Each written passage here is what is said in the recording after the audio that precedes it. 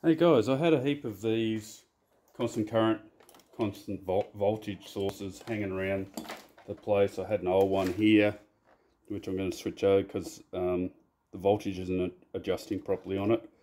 So originally put some fans on them to keep them cool. So I'll play with this and get it working again. But I've got this other one here. I think I used it for an episode 12 months ago or so um, on uh, making my own battery case but I don't think I put it up at that stage because I couldn't get it working properly the way I wanted it to so I left it. But I'm going to put it on this material here which I got out of an old uh, laptop actually. I stripped down an old laptop and I got that so I need something that'll be won't get uh, well Actually, I might change that because if I use this and it does get through that material, then I'm going to have a short. So I might change that to something else. But that was a good idea. I could use these just to clip it apart and just, you know, pull it apart like that. A side, a side pair of tin snips or what you want for something like that.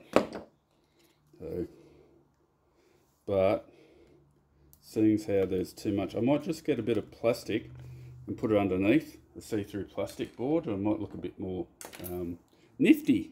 So I know my bench looks like a total mess that I've been working on other stuff, um, mainly batteries, but I might cut that out. This is out of an old laptop. It's only small, you know, out of the screens of the laptops you'll find this stuff handy for some little jobs. So don't throw your laptop screens away. So I'm quickly just scoring it with a blade and then I'm going to score it this way because I've just marked it off and I will cut that bit out using just snapping it off but I have to use a blade a bit more so I'll get back to you in a minute once I finish doing it. Okay so I've double scored either side of the the plastic. And I'm going to now use this piece of board here to drill a couple of holes in it to hold it down on onto the bottom of that.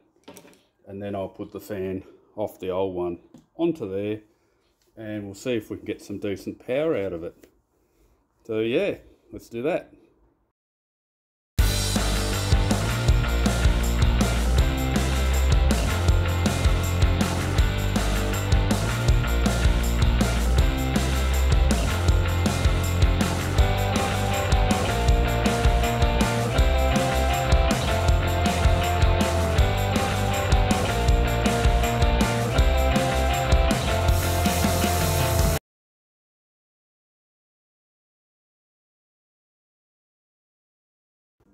So I've screwed one in just to hold it. I'm just using self tappers that I've gotten out of old equipment, which come in handy to do a multitude of jobs around the shed. When you're doing DIY projects, why spend money on stuff that you don't really need to? There's so many screws and things that gets thrown out into the rubbish. So let's keep going with this.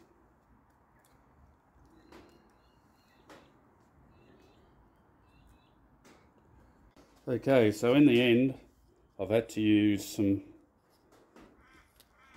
some nuts on the ends of a couple of small, I think they're about, I don't know, about, uh, what are they? They're about three, three mil or less, three mil bolts to tie them off. And I broke one little bit in the corner that um, I'm never going to get back, but it's not going to affect the circuit. So yeah, that circuit's now protected underneath. And now I'll swap over this to that and do these last two screws and pop it onto that. And we're going to try and get it going. Now these are constant current, constant voltage sources. Very handy to have. Especially when you don't have some of the equipment that you need. I used to um, have a 30 amp power supply. And I wish I had wish I had it now, but they're quite big. They take up most of my desk here. Or at least from there to about here. So yeah, not too bad though. So we're going to take that off. If I can get it off. Don't want to come off. I'll drop this side down and uh, try and get it off and swap it over.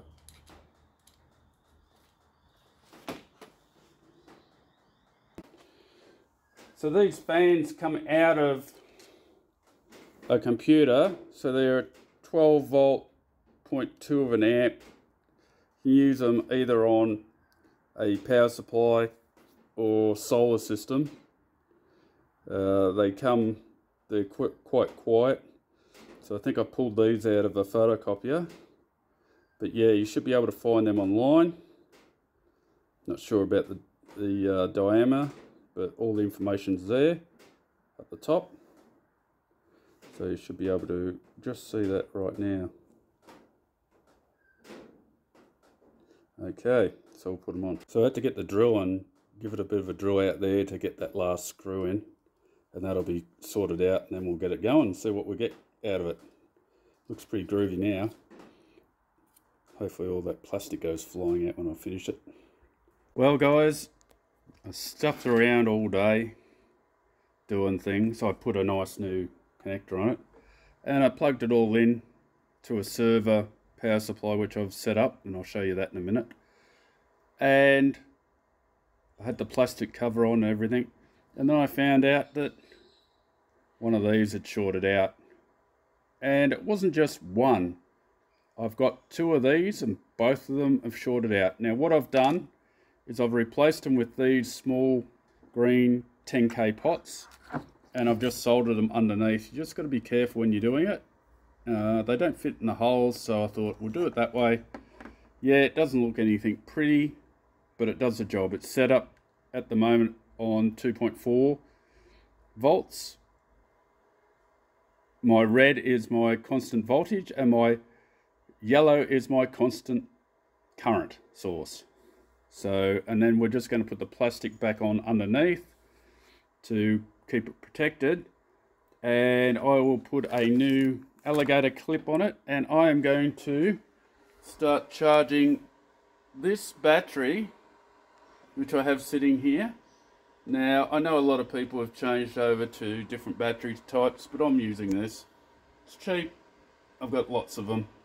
And at the moment, I'm just going with it. Uh, I'll probably change. Oh, hello. Hello, Tiff. What are you doing? You're dropping in, are you? I think Tiffy's hungry.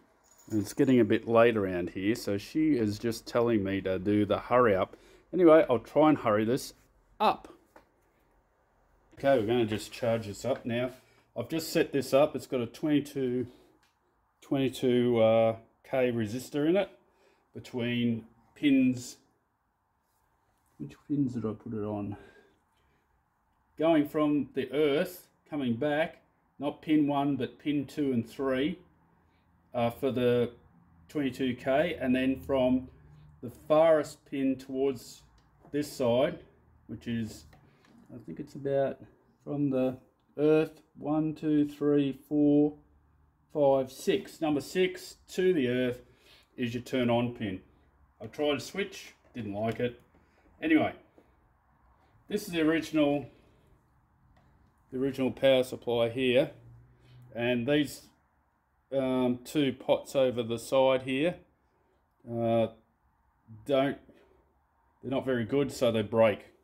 So now I've changed it for these two pots here. Now I've got a multimeter set up. It's only a small multimeter. It's called a a Fluke 101. It's not that precise, it's pretty close though. Uh, this little Fluke 101. Hint, hint to uh, people like um, Average Joe. Good little multimeter to have.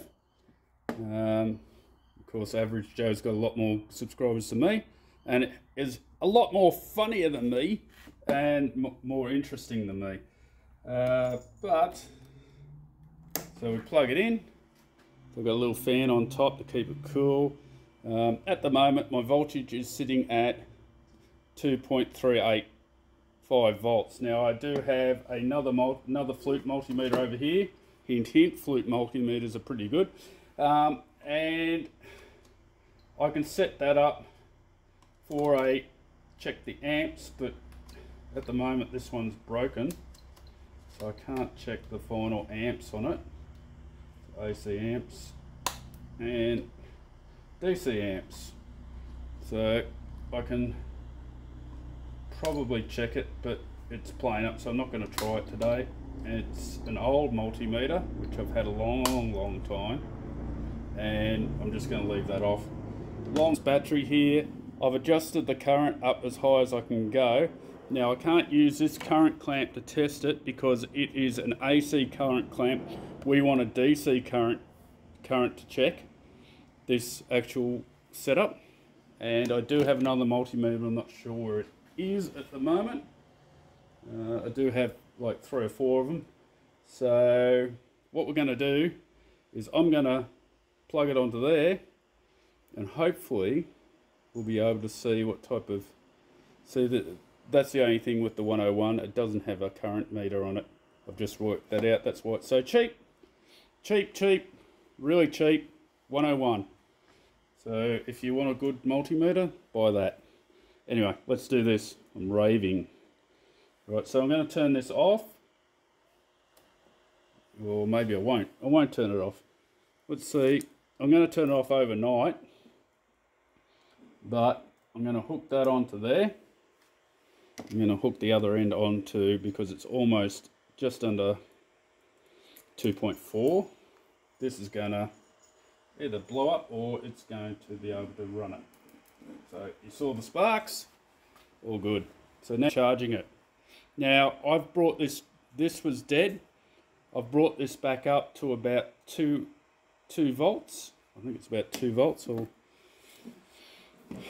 I won't be able to check at the moment because I've got that hooked onto there but if I disconnect it for a multimeter that works fantastic so we should be able to see what's it got it's got about one volt in the whole lot of the pack. So one volt in the pack. So I'll hook that onto there. It's now got a red light on it which means it's a bit too high so I'll come down a little bit